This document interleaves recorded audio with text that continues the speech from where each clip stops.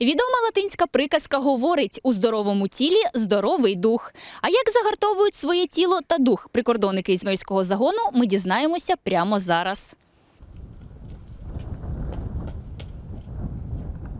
Ми за здорове покоління. Гасло загальновідомчої акції з популяризації здорового способу життя, що проводиться наразі в Державній прикордонній службі України. Прикордонники Ізмаїльського загону не лишилися осторонь цієї акції та черговий раз доводять, що вони ні в чому не поступаються справжнім спортсменам. Розпорядку дня ніхто не відміняв, наголошує начальник відділення по роботі з персоналом Віктор Сапунжи. Прикордонники дотримуються його неухильно. Ранок у наших військовослужбовців строкової служби починається з ранкової фізичної зарядки.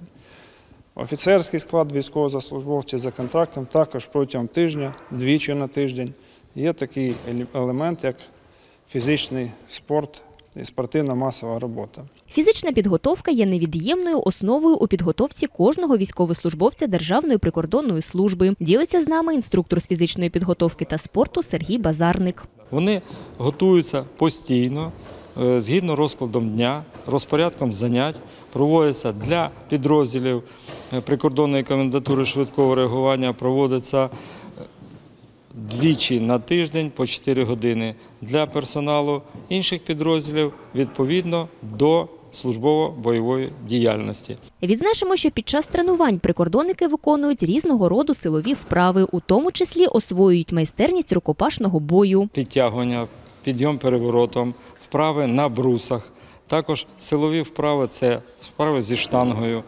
Е, На, на спритність це стрибки через козла, біг 100 метрів, човниковий біг і інші вправи, які впливають на їх е, різкість руху, діяльності і витривалості. Заняття зі спортсменами тренер проводить щодня, відпрацьовує ряд вправ та на особистому прикладі показує, як поводити себе у тій чи іншій ситуації. Я, як начальник фізичної підготовки, працюю з ними на постійній основі. Проводимо заняття, комплексні, комплексні заняття.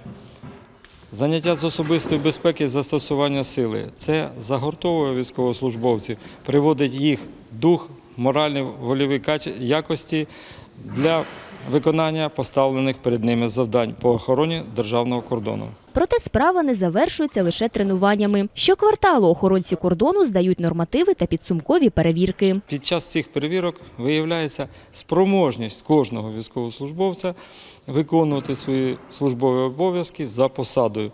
Також це впливає на їх фінансовий, як кажуть, розрахунок. Це впливає, це дає стимул їм працювати над собою, підтримувати свій морально, психологічний і фізичний стан. Наталя Гаврилова, Дмитро Карачебан для програми новин.